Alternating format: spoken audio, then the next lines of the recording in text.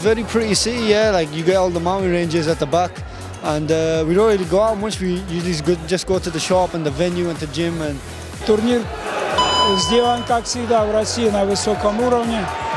Понятно, что есть накладки, они всегда бывают. I see uh, mountains, nice mountains, and a nice, uh, nice country. Pretty good organization, good traditional, and a good gallery. I was in Raj before, but it's pretty different here. Something new. For the people, looks different. You know, it's not so crowded. The mountains, Lovely country. they're so nice. Lovely. Um, what's prices? Good looking everyone is. Очень нравится природа здесь. Вот.